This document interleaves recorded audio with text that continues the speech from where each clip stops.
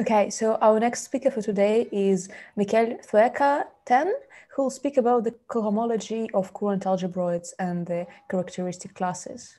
Okay, so first of all, I, I want to apologize myself for for my intervention yesterday in a in a parallel session. So I just want to say that here. And second, I want to thank the organizer for the opportunity to, to speak here in this conference. So I think that it's really nice to see young people that that give to us the opportunity to, to also speak. So third, I want to say that this is a joint uh, work with Raj Mehta of Smith College and it's already on, on arXiv, so you just can take a look there. So, okay, so let me go ahead and just try to say what is this talk about. So this talk is just about produce new invariants for Courant algebroids. And when I say invariants, I just will say kind of cohomological invariants. And by that, I mean that Courant algebroids have an associated differential complex and then they have an associated cohomology. But this cohomology was, and this differential complex was not so easy to, to work with, to study. And then we will just build an explicit description of this differential complex. And that includes some Cartan calculus. The second thing, just we will explain what are representations of a Courant algebroid via just vector bundles with connections. And third, we will introduce these new invariants that are just characteristic classes on this cohomology associated to the Courant algebroid. So let me say that this is just an analogous picture of what happens for Lie algebroids. So suppose that you have a Lie algebroid, then it is well known that the sections of the exterior power of the dual vector bundle inherit a richer differential complex with a differential satisfying this kind of Cartan-like formula where you use just the anchor and the bracket of the Lie algebroid. And then it is also well known that representations of a Lie algebroids are in one-to-one -one correspondence with vector bundles with flat connections. For many propos, maybe you should uh, extend this definition to representations up to homotopy, but I just want to say that the basic representations are given just by vector bundles with flat connections. And then uh, Marius Crainic and Rui Loja Fernandes were able to construct secondary characteristic classes coming from that joint representation that for Lie algebroids is, is something up to homotopy. So what we want to mimic in this talk is just this scheme for Courant algebroids. So let me say some words about Courant algebroids and maybe just start for a motivating example. So what is a Courant algebroid? So suppose that you have just your manifold and then take your tangent plus cotangent and sum it. Then on this vector bundle, you have the pairing between vectors and covectors, and you can project also to the tangent bundle, and then you can create this funny bracket what is important of this bracket and is that appears historically in many situations. For example, the first appearance was in constrained mechanical systems. So if you want to study mechanical system with constraints that the previous talks shows you uh, many of these situations, then the Courant Dorfman bracket appears naturally.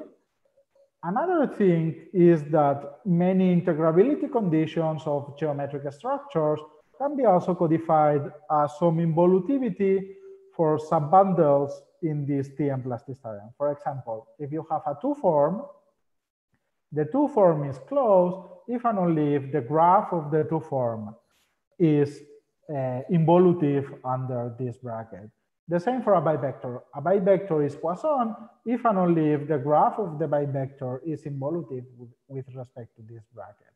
Or for example, generalized complex structure were also involved in these Courant algebra things. So let me give right now a definition.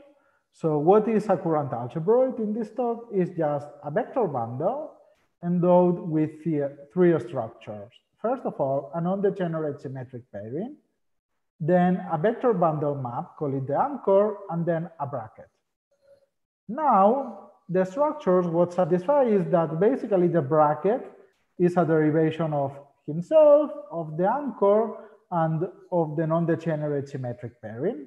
And then we have these four uh, item that is that the bracket is not skew symmetric, but the skew symmetry is controlled by the pairing. And this is what makes the difference between Courant algebroids and Lie algebroids.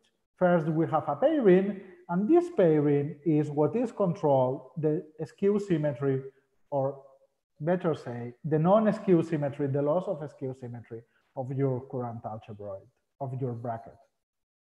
And then what happens is that the theory complains uh, becomes completely different from the study of, of Lie algebroids.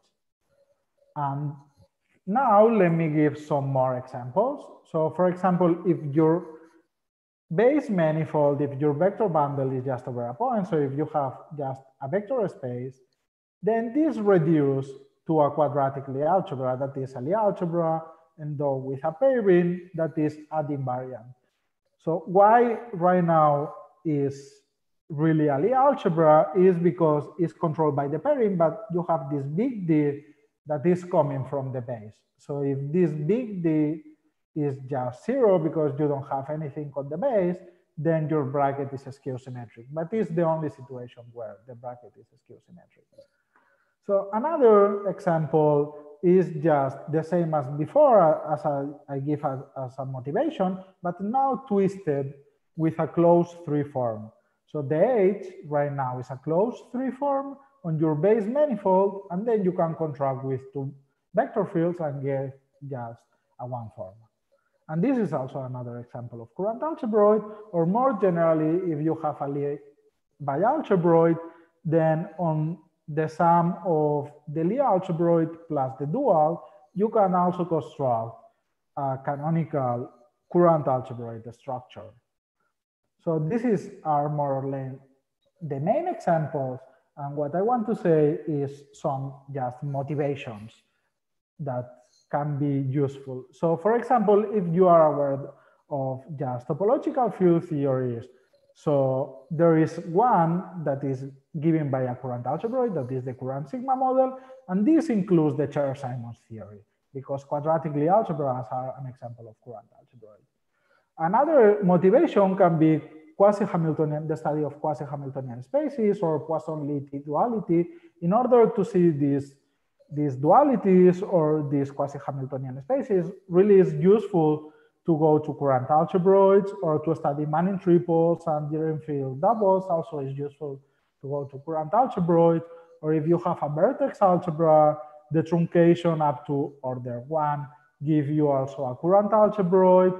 Or for example, a Courant algebroid give you a, a two-term L-infinity algebra that means that appears naturally in higher homotopy structures over there. So there are many motivations of why you should be interested in studying Courant algebroids. And maybe if you are just a Poisson geometer, I just want to say that for many cases to make, I don't know, pullbacks of Poisson structures or to study reduction of Poisson structures, you naturally must go to the Courant algebroids world. So Courant algebroids is something that appears naturally in many places of, of mathematics. So let's now go to our point. So I promise you that Courant algebras have a differential complex, but where it is. So the point is that we just need to change our point of view. And this is made by this theorem, this Severa-Roytenberg correspondence that says that a Courant algebroid is in one-to-one -one correspondence with degree two symplectic Q manifold. I don't want to explain right now what is a degree two symplectic Q manifold. I will do it in the parallel session. But the important thing is that these graded manifolds, the functions on these graded manifolds have degrees. And now the fact that you have this Q structure is just the same as saying that the functions on the graded manifold inherit a differential. So this Q that is increasing the degree by one and the q squares is equal to zero. What happens is that then you have a differential complex associated to a Courant algebroid, just this function with a Q structure, but this is not really hands-on. So it's, it's not, it's just an implicit description. So can we make a better description of this complex and can we find any Cartan-type formula for the differential, for example? And the answer is that we need to change a bit our point of view and what I want now is just to describe, given a vector bundle with an undegenerate pairing, I can constrain k cochains of the following way are elements that each k sections of your vector bundle and returns you a function.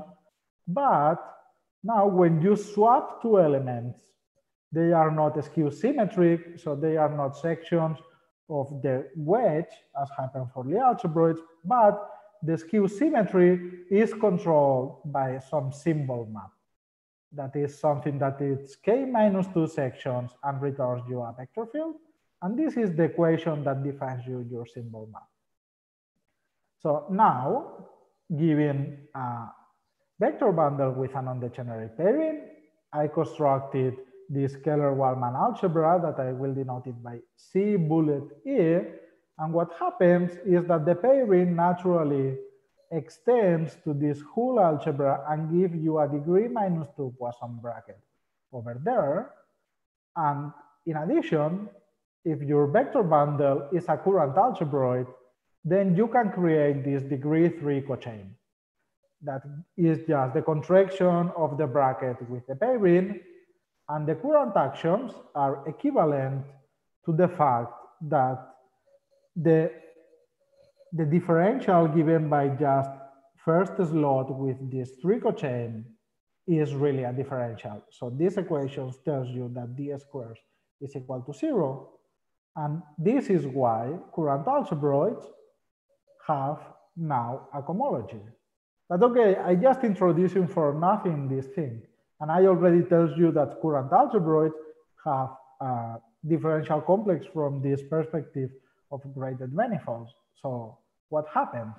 And what happens is that this is our first theorem, is that if you have a Courant algebroid, the two differential graded algebras that I introduced here are isomorphic naturally. And the isomorphism is really natural. And the second thing is that really this differential that we construct have a Cartan formula that is really analogous to the Cartan formula for Lie algebroids. But now you see since these cochains here are not skew symmetric, if you want to put this bracket at the beginning, as many times is do it, then the symbol map start to appear. So you need to be a bit carefully how to just go from one side to the other. And I want to say that this Keller-Waldmann algebra was introduced like 10 years or maybe 15 years early by, by Keller and Stefan Waldmann. And they just didn't prove it, uh, this isomorphism, because they were working in, in an algebraic setting for Courant algebroids. Okay, so now we can go to the second part, that is representations of Courant algebroids. And I want just to give a definition. So Given a Courant algebroid E and a vector bundle, I define an E connection on that vector bundle by this rule here that is a section of the Courant algebroid and a section of uh, the vector bundle and return just a vector bundle section that is satisfying this Leibniz rule in the vector bundle argument and this linear in the Courant uh, slot. So what happens is that during many times this kind of e-connections was appearing in the literature, but the curvature of an e-connection was really difficult to make sense of. So, you know, the curvature, you can define it as usual, just the commutator of this operator minus the bracket of, of the two slots here. And now, with our point of view, it's really easy to see that the curvature become and just an endomorphism valued to cochain. And maybe since the cochains are not a skew symmetry, this was part of the difficulties of, of the definition of the curvature for connections. And now let's make the link of this. So something that I want also to, to say is that sometimes people also require some compatibility with the pairing, but this is not something necessary in our work. We believe that it's just auxiliary. So then I want to stress how this is, is related with representations. And then, so given an E connection, I can define an operator just on the space of cochain tensor the sections of your vector bundle, as is do it for Lie algebroids, everything is completely analogous. And what happens is that there is a one-to-one -one correspondence between E connections and these operators here on, on this complex. Moreover, the curvature of the connection is equal to zero, so the connection is flat if and only if this operator here is equals to zero. Therefore, we can say that representations of Courant algebroids are in one-to-one -one correspondence with flat E connections on a vector bundle, as usual. So now, well, and also some Bianchi's identities holds in this in this setting.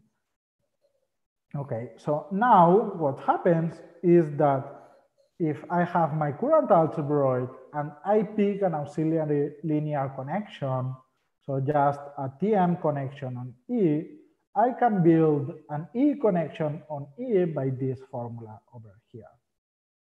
And this formula really resembles what happens also for Lie algebroids, but without this term, this last term that is coming, let's say, from the cotangent bundle composed with the metric. And the important thing of these connections that are not canonical because depends on your choice of linear connection is that independent of the choice of your linear connection, they are always compatible with the pairing.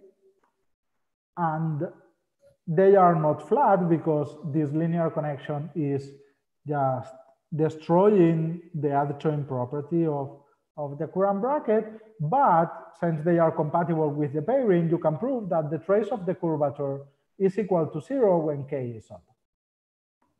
So you also can build connections on Tm and T, and T given a linear connection, and you can put it together and on Tm plus T star this is also respecting, is just well compared with the pairing as, as happened in the previous case. So once we have that, I can go to these characteristic classes that are the cohomological invariants of, of my Courant algebra, right? Okay, so the first one is the modular class. So how is the modular class defined? So I need a vector bundle with rank one with a flat connection. So just a rank one representation of my Courant algebra, and what happens is that this B defines for you a cohomology class in a degree one cohomology class. And this is called the modular class of the vector bundle B. And we denote it by this psi B. So for Courant algebroids, since we develop a whole Cartan calculus that I will explain in the parallel session, one can see that for wedge top of E, there is a canonical flat E connection given by just Lie derivative along E that of this top form. And this is just like the bracket applying as you expect. So this is just the contraction of E times dE plus, so by the Cartan, the usual Cartan formula. So there are many ways to define this, but it's completely canonical. And what happens is that the modular class associated with these rank one vector bundles is always zero. So this is really different for what happens for Courant for Lie algebroids. Lie algebroids in general are not unimodular, but here the presence of the pairing makes Courant algebroids unimodular. And this is what not surprise because quadratic Lie algebras are always unimodular. And then we are just extending what happens over a point. Okay, so I, I want to remark that this was already defined, this, this modular class, this intrinsic modular class was already defined for, by Stiennon and Pinchot, and they just didn't notice that it's always equal to zero. Okay, so if we don't have the modular class, what else we can do? Okay, maybe we have primary characteristic classes. So what are the primary characteristic classes? This is just giving an E connection on a vector bundle. I just can consider the trace of powers of the curvature. And this gives me a 2K cochain. So what happens is that as in classical theory, first, this gives you really a cohomology class, so a characteristic class. And the second thing is that it's really independent of the connection you choose in order to define this. So if you have any connection on a vector bundle, this class is just intrinsic and we'll denote it by this char class of B. Okay, and then is a class on degree 2k of it.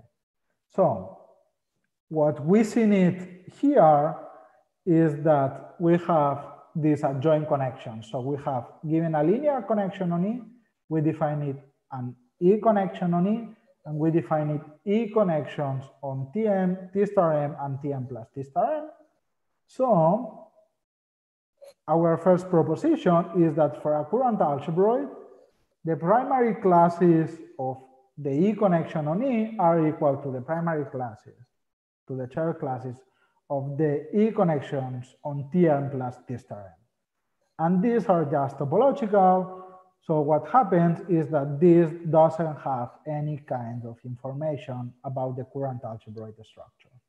So really don't give you new classes for Courant algebroids or intrinsic uh, classes for Courant algebra. So then we need to go further and we need to go to the secondary classes and we can define in that. So giving just two connections on the same vector bundle, we can produce a Chern-Simons type transgression form that this is uh, a, a cochain on 2k minus 1 of it. And what happens is that you can see that the differential of this cochain is equal to the primary classes of the two connections that we already have it. So if the primary classes vanish, then you can create these secondary characteristic classes. And then you have now a way to produce maybe interesting, in, interesting things. So let's go, given a Courant algebroid, then I choose a linear connection on, on E and a positive definite metric. And then what happens is that I get this E connection on E. And now by the linear connection, I get this E connection on E. And now I, by the positive definite metric, I just construct another connection as the adjoint using that metric. Then we can construct these Chern-Simons transgression forms. And what happens is that we already seen it that when k is odd, the trace of the curvature of this connection is equal to zero. And what happens for this adjoint connection with the metric is the same that the for k odd, the primary characteristic classes are zero. Therefore, we can construct these secondary characteristic classes. And our theorem, our result, is that these classes are independent of the choices that we make. So the linear connection and the positive definite metric are not relevant. So these classes are completely independent. And we call it this, the intrinsic secondary characteristic classes of a Courant algebra. So just to finish, I want to say that we see it that for the standard Courant algebroid or even for the twisted Courant algebroid, these secondary characteristic classes are zero. And the first class is the modular class. that we define it. So these classes are appearing on degree one, five, nine. So in degree one is zero, and then we are not aware right now of, of any Courant algebroid that have non-vanishing secondary characteristic classes, but we believe that some examples can be built. And well, that's all that I want to talk. Thank you very much. Thank you very much. Let's thank Miquel for his talk, including emoji. Emoji applause, please, everyone. Emoji applause. Very good.